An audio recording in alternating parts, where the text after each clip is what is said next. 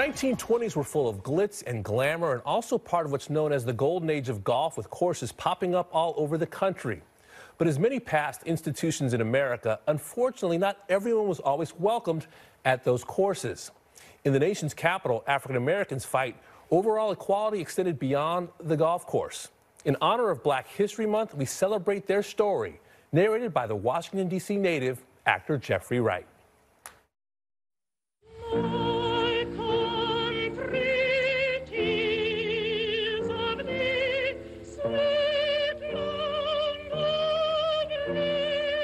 Of all the stages of the civil rights movement. The buses. Achieve equal rights. The bridges. The restaurant counters. This was its grandest. I have a dream today. But less than five miles from those marble steps of equality is another gathering place. A clubhouse of common ground.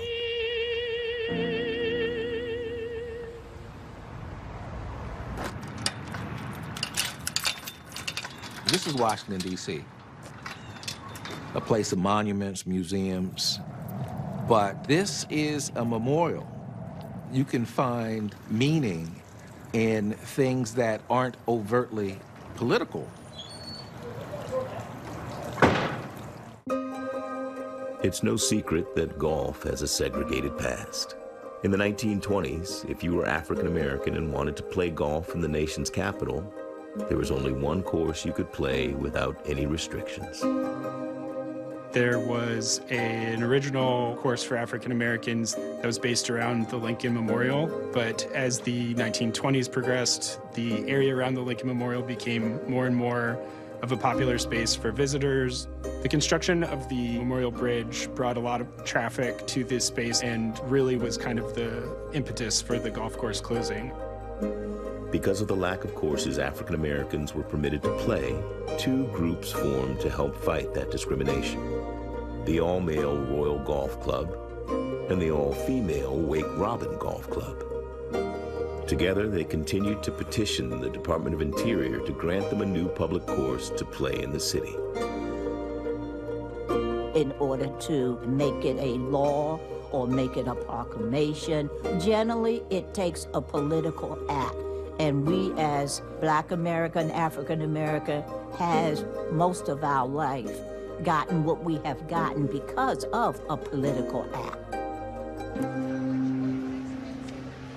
In 1939, because of its original white performers only policy, Constitution Hall denied singer Marian Anderson the right to perform there. So on Easter Sunday, Secretary of the Interior Harold Ickes arranged for Anderson to sing at the Lincoln Memorial instead. Over 75,000 people showed up. Two months later, on permission granted by Secretary Ickes, a course for African Americans opened on the banks of the Anacostia River. Langston is no just regular golf course here in Washington, D.C. It is owned and operated by the federal government through the National Park Service. When Secretary Ickes made the decision to uh, have Langston built, that opened the door, if you would. What Langston did for the Royals, for African Americans, it was a home. And it brought organization. It was a regular meeting place every week. It was very important that they had a place where they could come and not be harassed.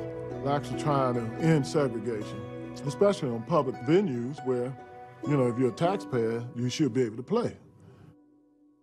The course opened in 1939, and you know it would be great to sort of say everything was was rosy here, but the conditions were poor. Members of the Royals and Wake Robins really were pushing to gain access to the other golf courses. In June of 1941, members of the Royal Golf Club made a brave decision. They showed up to East Potomac, an all-white public course also run by the national parks, and began to do what they loved. They played golf. Police were called, insults were made, and the decision forced the National Park Service to react.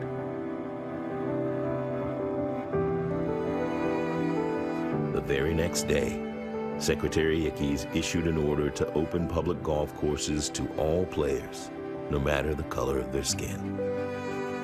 Ickes, pretty much in short order, decreed that national parks needed to be integrated. That was the, the start, the spark. It was important in the desegregation because the men and women in the community helped the African American folks no longer be the carrier of the bags, but the participants in the game. In 1945, the national parks officially called for full integration across all of its properties. As time moved on, most of golf, unfortunately, stayed rooted in the past. But Langston remained a safe haven for all African Americans, hosting both amateurs and professionals. The UGA is United Golfers Association. African American golfers could not play on the PGA Tour because of the Caucasian only clause. Those struggles and those stories have been told here on the fairways at Langston.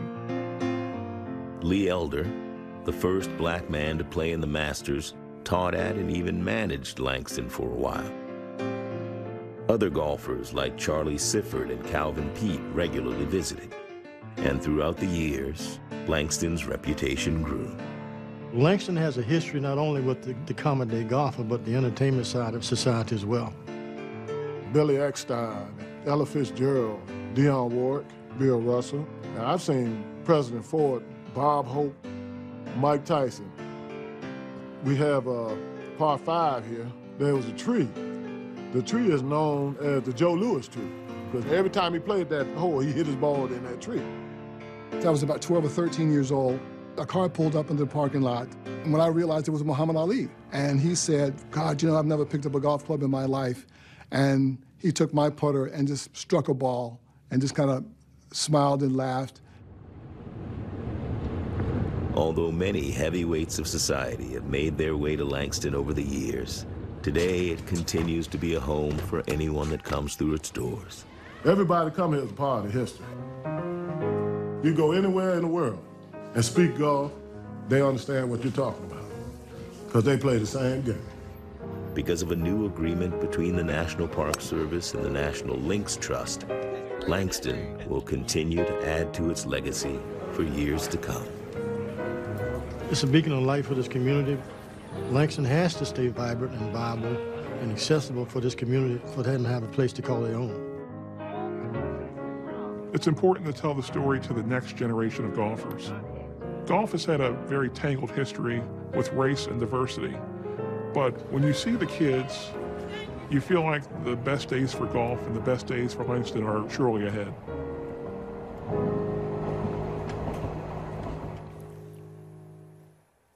Our thanks to Jeffrey Wright for narrating that story. He actually grew up playing courses like East Potomac and Langston in D.C. The National Links Trust is also hoping to help build a home for Howard University's golf team at Langston, which would really bring the story full circle because Langston Golf Course was actually named after John Mercer Langston, the first dean of Howard's Law School.